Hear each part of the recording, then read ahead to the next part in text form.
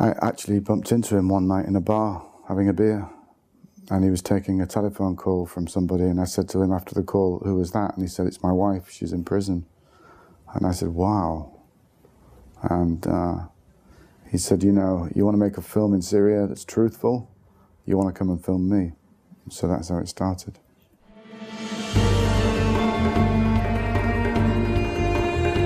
Hello, mommy. Yeah. Wanna I love her more than anyone can love anybody. He cannot find anybody understand him like me.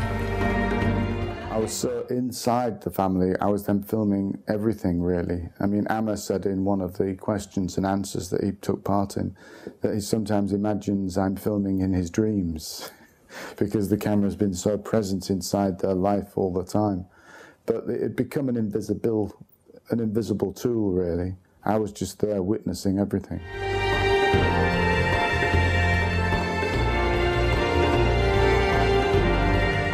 watching a film like this and having the privilege of living with Bob since he was three until he was eight, seeing him grow up in all of those different situations. Hopefully, when you look at refugees on the news, you'll think of this family and actually realize that all of those refugees are human beings too.